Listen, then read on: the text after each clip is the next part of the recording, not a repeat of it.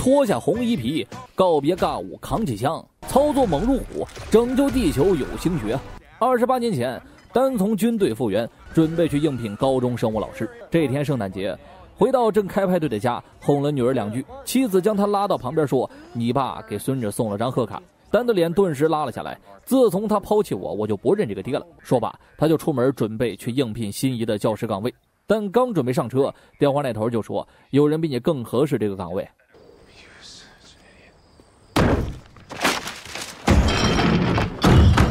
朝垃圾桶发泄了不满后，他折返回家，装作若无其事，和妻女一起看世界杯。看着优秀球员的表现，女儿说：“我将来也要变得优秀，就像爸爸你一样。”单听着心里难受啊，可也只能强颜欢笑，鼓励女儿。就在临门一脚的时候，球场上突然出现强光。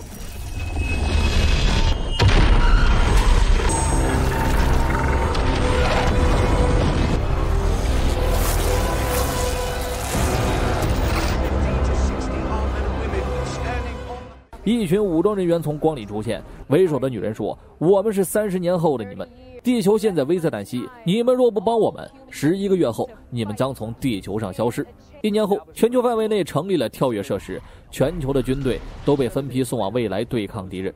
但只过了七天，希望就破灭了，并不是所有士兵都符合前往未来的要求，所以只有让平民也入伍。即便如此，仍是杯水车薪。根据预测，全球人口未来将不到五十万，征兵存活率也只有百分之二十。这场大规模征兵也引发了很多反战人士的不满，冲突不停爆发。丹的教师生涯也不顺利，课堂上所有学生都无心听课，他只好停下课程，让他们畅所欲言。What do you want to talk about? Really? Anyone? Anyone in the class besides Martin? Class, what does Martin want to talk about? Volcanoes are nature's fury, guys. 学生们表现得很悲观，反正三十年后人类注定要被外星人消灭，那努力读书也没什么用。但底气不足的安慰，我们还是要相信科学，相信创新发展。说到这里，他的手机收到了服兵役的通知。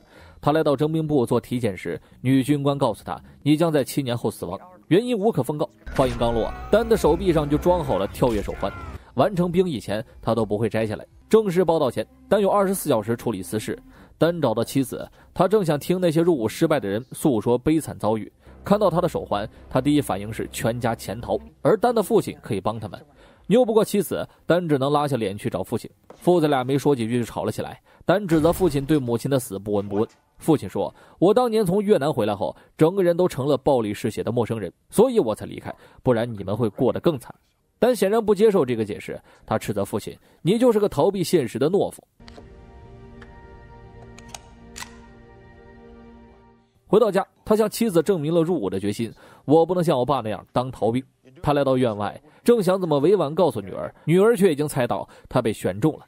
丹安慰他：“我一定会回来的。”随后，在总统激情的演讲中，为期七天的服役正式开始。七天后，如果手环判断你还活着，就会把你送回来。教官迪亚兹讲述服役事项时，丹旁边的队友查理一直说个没完，听得旁边的多利恩一脸黑线。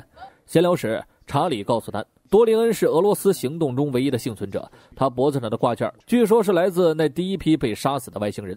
接着，迪亚兹继续训话。你们将于二零五一年加入对应的研究机构，为他们提供知识与技能，防止人类灭绝。之所以不能跳跃到更早的时间，是因为跳跃链技术还未成熟。如果不是遇到外星人入侵，这项技术目前还只能用在小白鼠身上。那群被称为“白长钉”的外星人，每六天就会回巢休息一天。鉴于他们长相太恐怖，怕打击人民群众的自信心，所以没有任何图片和影像资料。演习还没开始，警报就响了起来。研究机构遇袭。那里要是被攻克了，地球就彻底歇菜了。情况紧急啊，直接实战，所有人马上传送到了地方。Are you so calm? Long story. Ex-military. Kind of a short story, I guess. Tuck position. Three, two, one, launch. Lieutenant, something's wrong with the output coordinates. Should we abort?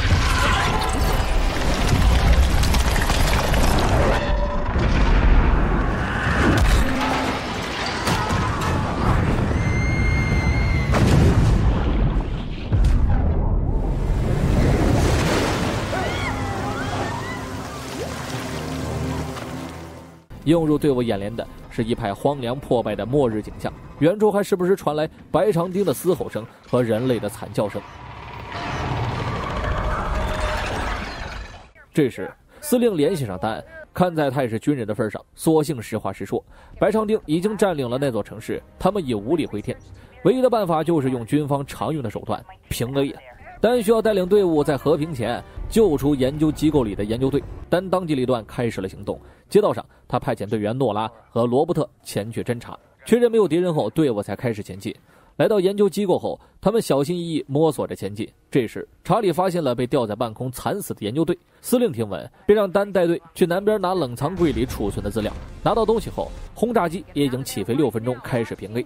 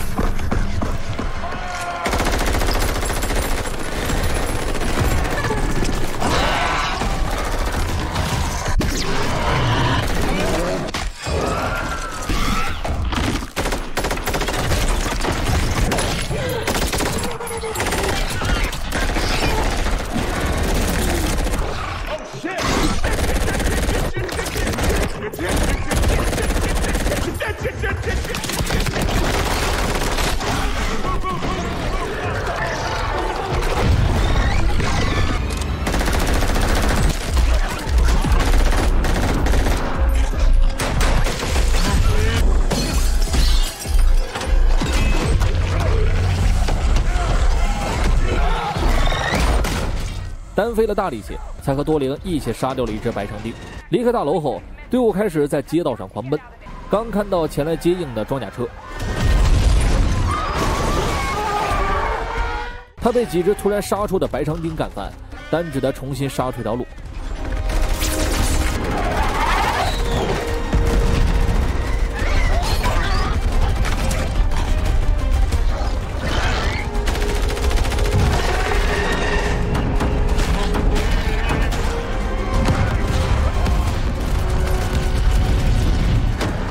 过程中，罗伯特不幸摔伤。为了不拖累队伍，诺拉和他一起留下来阻击敌人。伴随着轰炸机投下的炸弹和轰鸣声，逃脱的丹等人被震飞出去。他和查理醒来时，发现到了一个陌生的地方。多林恩就在不远处沉着脸。现在队伍就还有他们三个活人了。说到这里，司令就赶了过来。他对丹他们的行动表示了感谢。聊着聊着，丹就发现司令就是自己长大后的女儿。闲聊过后，女儿告诉他，这就是故事的结局了。他把丹带到这里，不是感情用事，而是其他的原因。时候到了，他自然会说。接着，他向丹展示了雌性长白丁的资料。之前交手的是雄性，而能杀死雄性的毒素却杀不死雌性。他相信，只要找到杀死雌性的办法，人类就能反败为胜。眼下正好找到了雌性的巢穴，只要抓回来研究，就有办法。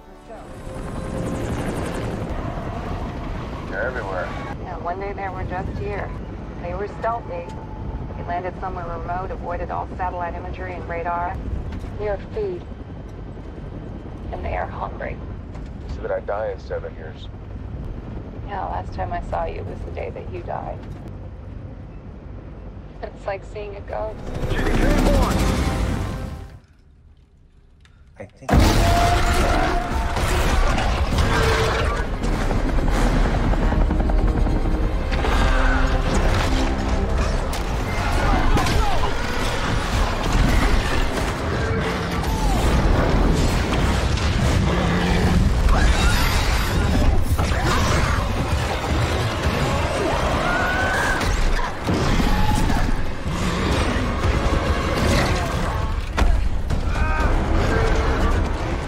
经过一番有惊无险的抓捕，雌性长白丁被装箱带走，而丹父女俩也在逃至海岸边后，女儿敞开了心扉。小时候，她是一直相信父亲的人，但她一直都对生活不满意。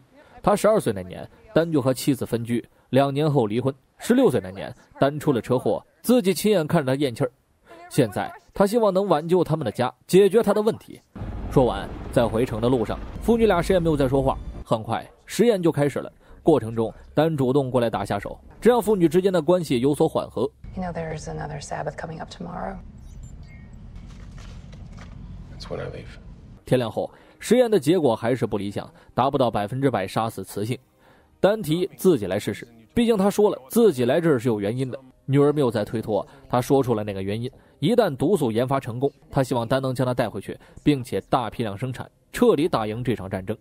在丹听来，这就让自己去当逃兵，丢下女儿等死。女儿说：“这是唯一的办法了。你是我爸，所以我相信你。”丹只能同意，但他说自己绝对不会抛弃女儿，他一定会回来，和他一起拯救世界。说到这里啊，计算机提示百分百的毒素已经生成。旁边虚弱的雌性长白丁察觉到了危险，他发出了嘶吼。外面无数的长白丁听到声音，纷纷冲了过来。时间紧迫，女儿马上带着丹前往跳跃链，她要确保丹安全带着毒素回到过去。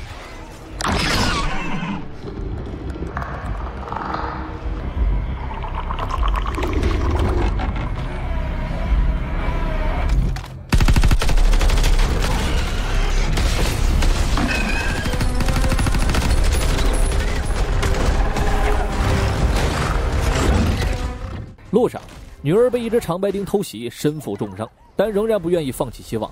他还想带着她一起离开。女儿已经看清了结局，她只能留在这里等死，丹却可以阻止这一切。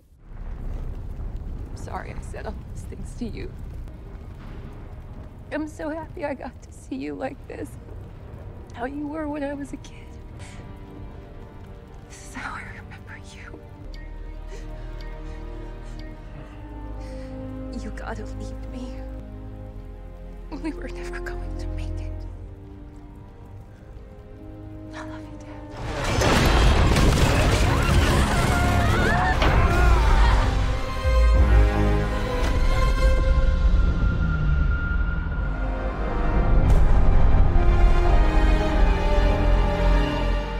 就在他要被无数长白丁吞噬时，丹被传送了回去。醒来后，他恳求迪亚兹将毒素拿去批量生产，结束战争。迪亚兹却说：“现在跳跃链被毁了，他们无能为力了。”这番话对丹的打击很大。面对接自己的妻子，都表现得浑浑噩噩。看到女儿笑着迎接自己回家，他只能抱紧女儿，强忍着眼泪。晚上，等女儿睡下后，丹才心情沉重地向妻子诉说了过去七天发生的事。现在解决办法就在手里，但他却无计可施。他不能辜负了女儿的希望，必须想个办法。妻子冷静地安慰他：“我们会有办法的。他们将在2048年的俄罗斯发动第一次袭击，但那不代表他们是那年到的地球，所以很可能在更早之前就已经来了。”酒吧里，他找到了喝闷酒的多利恩。Not a hero. I was trying to save my daughter. If I gotta save the world to save her, then I'm damn sure gonna do it. 两人决定一起合作。经过对长白丁牙齿的分析，他们发现他还涉足过中韩两国的火山。这方面，丹的学生马丁是行家。于是，丹诚恳地对懵逼的马丁说：“现在地球上的生命就指望你了。”马丁敲打键盘后，他们知道了真相。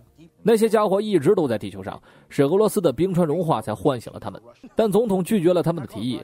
现在世界各地人心惶惶，他不能拿没有证据的事冒险。无奈下，丹再次去找了父亲，他需要父亲提供飞机，偷偷的前往俄罗斯。I need your help. I'll get my coat. 父亲爽快同意。很快，一行人就来到了俄罗斯北地群岛，在雪地上飞驰一阵后，他们发现了长白丁的所在地。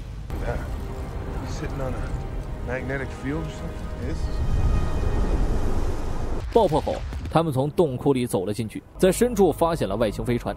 他们一致认为这事儿交给政府不靠谱啊，除了空头支票，那群人啥也不会，那就只能自己动手丰衣足食。布置妥当后，丹率先走了进去，找到长白丁休眠的所在。他们掏出毒素开始注射，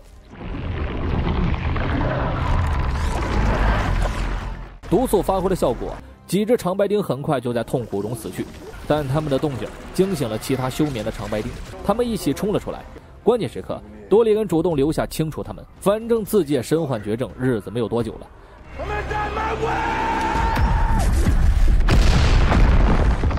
他引爆了炸弹，将飞船炸了个粉碎。跟查理和父亲会合后，丹从他们口中得知，还跑了一只雌性长白丁。This is